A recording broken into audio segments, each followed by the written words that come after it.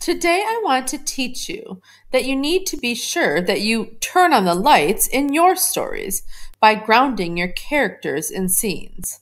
That is, writers make sure to show characters' actions as well as a place and time so that their readers don't have that disoriented feeling asking, wait, where is this? or what's going on. We all know what makes up a scene. Take a minute, pause the video, and read through this old chart. When you're writing a scene, it's easy to get so caught up in the dialogue that you forget everything else that makes up a scene, the things that keep the reader grounded and knowing what's happening. Let me give you an example. One of the students from one of my classes a couple of years ago, Nick, wrote this I was so embarrassed. I didn't know what to say. Um, just apologize, she said. I'm sorry, I said. You're forgiven. Let's go get a slice, she said. Some things work in this scene.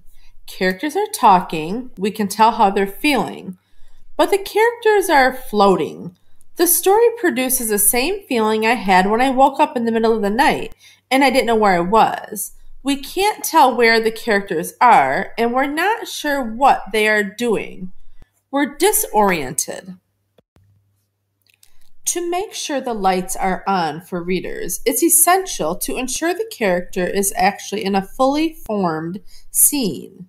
In other words, the character will not only be talking, he's also thinking, feeling, and moving within the scene. In fact, those other things are so important that a scene can have all of those things and not have dialogue and still be a scene. Watch how Nick's draft became more clear and emotionally rich when he added action and setting. Nick didn't actually know what his characters were doing. When he wrote the draft, his characters were just talking. He hadn't envisioned the action, thoughts, feelings, or setting yet.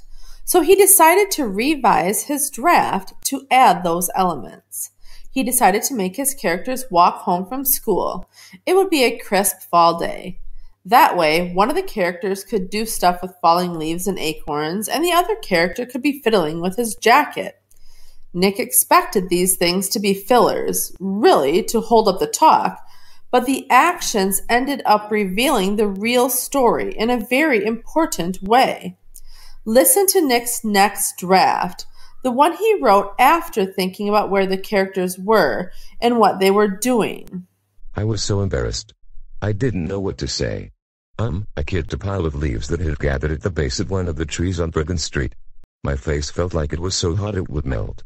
A breeze whooshed and leaves danced on the sidewalk. Just apologize, she said. She pulled her collar tighter and buttoned the top button. I snuck a glance at her face. She was biting her bottom lip. I knew it was hard for her to ask for an apology. An acorn fell off a tree and ricocheted off a car parked in the corner. The smell of tomato sauce and garlic wafted in the cool late October air. My stomach growled. I snuck another peek at her and now she was stomping every leaf on the sidewalk. Moving intentionally to them and then crushing them under her boots as she walked.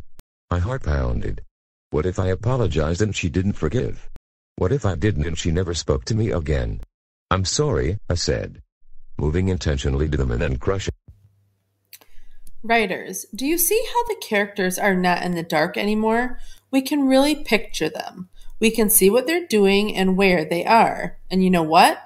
When Nick wrote this, his only plan was to have the two of them walking home together.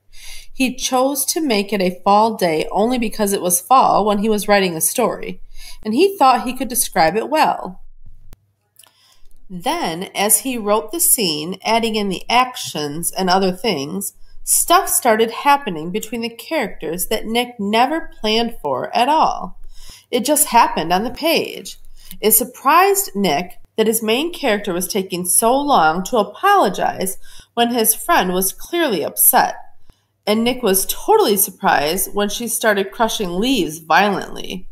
There was a lot more feeling between them than Nick had realized.